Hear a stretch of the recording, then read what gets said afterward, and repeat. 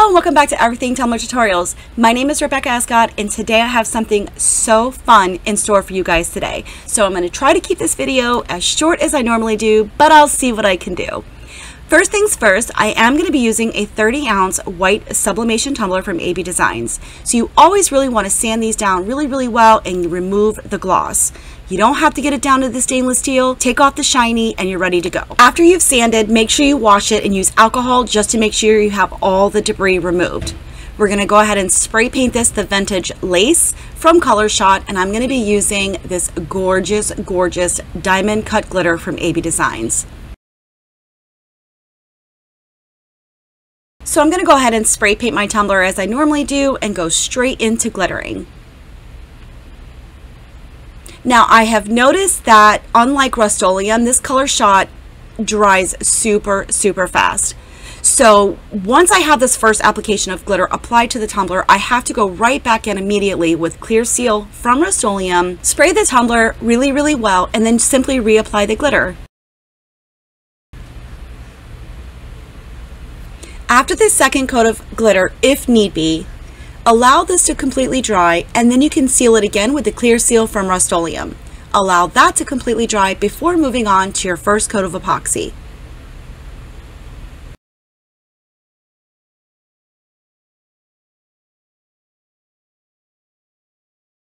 So for my first coat of epoxy, I'm going to be using the Fast Set from Counterculture DIY. I waited about three to four hours before applying a second coat, which I did do off camera. As with any peekaboos, it's super important to make sure that your tumbler is very, very smooth. So once you've applied the necessary amounts of epoxy coats, it's now time to go ahead and sand this surface. It's going to be okay because we're going to go ahead and place our decals after we have sanded this and washed it and made sure everything was nice and clean. So the most important part is making sure that you have plenty of coats of epoxy so that one, you're not going to disrupt the glitter up underneath. But two, when you go to spray paint, if this is not a smooth surface, you will see every lump, every dimple, every mishap right up underneath that paint. So once we've gotten this nice and sanded down, we're going to make sure that we give it a nice little bath and use some acetone just to make sure we don't have any bits of remaining sanding left behind or any debris that's going to be in the way. Now we can start getting to the fun part. So I'm just going to be using some Cricut removable vinyl that I had left over from my stash and I'm going to use these for my honeycombs so that when I spray paint, one, I'll be able to find them very easily and two, they pull up super easily. So here I'm just going to kind of place them throughout the tumbler wherever I think it makes sense. There's no rhyme or reason, it's entirely up to you.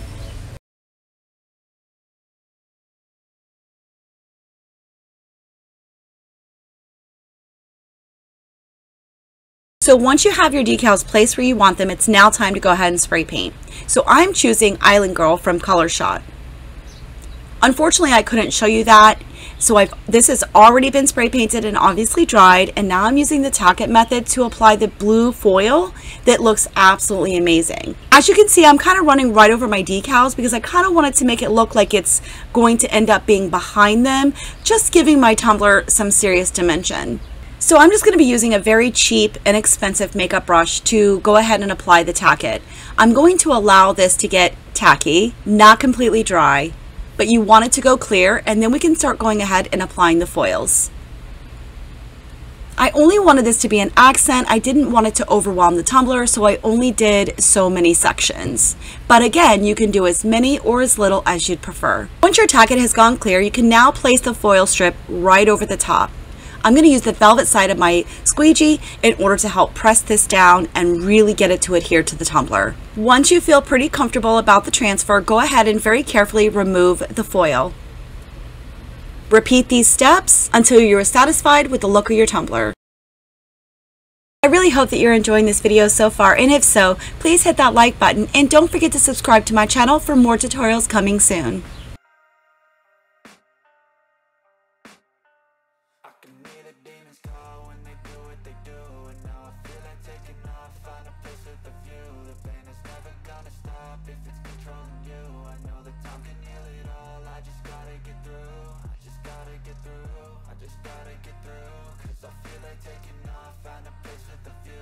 Once you've applied all the foils that you desire, we're now going to go ahead and use our weeding pen to pull up our decals.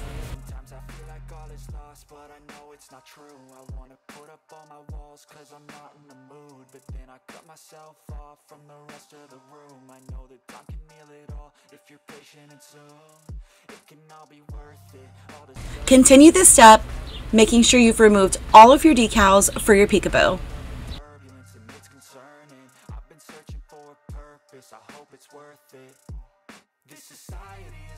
me.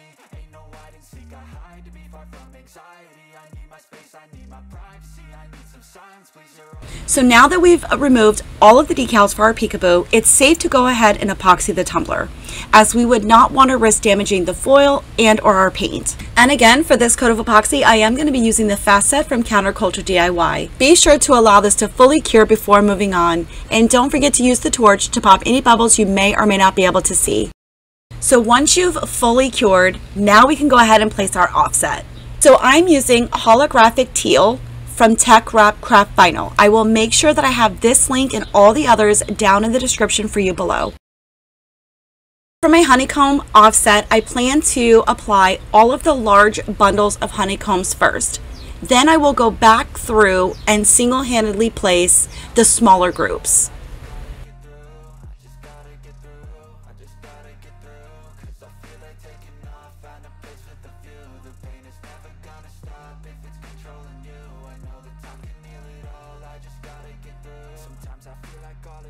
But I know it's not true. I wanna put up all my walls, cause I'm not in the mood. But then I cut myself off from the rest of the room. I know that time can heal it all if you're patient and soon. It can all be worth it, all the searching. Pain is never really permanent, but damn, it hurts, man. I could feel all of the turbulence and it's. Once I've had all of my offsets placed, I'm going to go ahead and use the new white ink vinyl from AB Designs. This is an incredible, beautiful floral print. All of her white inks, whether they're decals or they're 12 by 12 sheets, will all be marked with a red dot. So you'll be able to tell the difference between the white inks and the clear cast decals. I'm going to cut these out individually and then I can start placing them randomly all over the tumbler. Okay, I've been doing this for a very long time and this is probably the prettiest thing I have ever, ever seen. I've got the foils, I've got the peekaboos, I've got the white ink decals. Like I am literally over the moon right now. Let me know what you think down in the comments so far of how this tumbler is coming along. These decals, whether they're on the decal sheets, three and a half by three and a half, or they're off the 12 by 12 vinyl sheets, they are still absolutely amazing and so easy to work with. So when doing the hinge method, once you place the section onto the tumbler, you're literally just going to take your squeegee and guide the backing off. It is so stinking easy, guys. And just use your soft velvet side of the squeegee and just rub everything down nice and smoothly. If you have any white air pockets underneath this decal, you will see it once you epoxy. So now I really wanted to point out, if you may or may not have noticed, I started to apply all of my decals before applying another coat of epoxy. And so I really wanted you to see this lumpy bumpy underneath my bumblebee. But I promise you, when I tell you that epoxy is so forgiving, I will prove it to you in this video.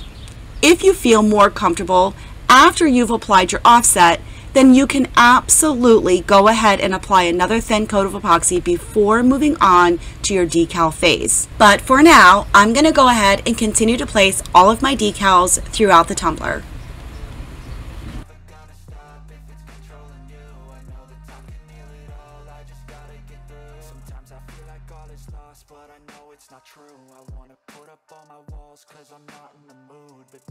Myself off from the rest of the room. I know that time can heal it all if you're patient and soon.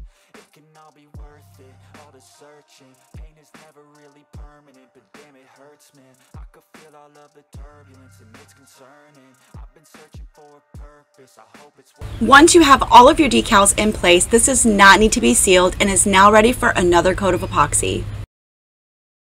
So for this next coat of epoxy, I'm going to add in Snowcaps additive into my epoxy, but just a teeny tiny amount, just to give this tumbler a little bit of sparkle.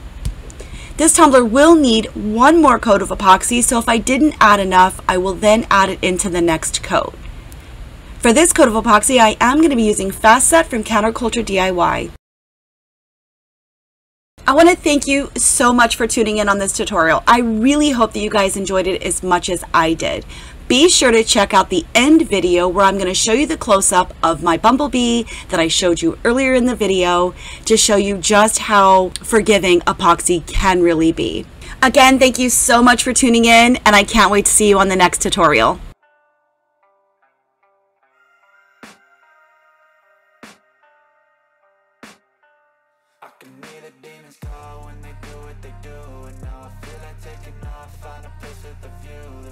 never gonna stop if it's controlling you. I know that time can heal it all, I just gotta get through. I just gotta get through, I just gotta get through. Cause I feel like taking off, find a place with a view. The pain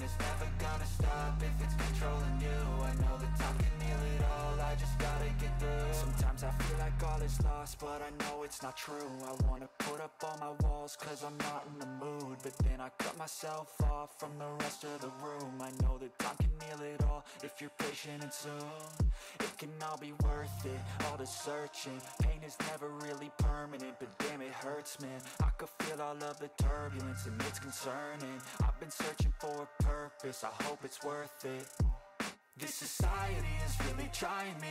Ain't no hide and seek, I hide to be far from anxiety. I need my space, I need my privacy. I need some silence, please, you're all too loud. You don't speak quietly, opinions violently Thrown across every surface, it makes me nervous. It's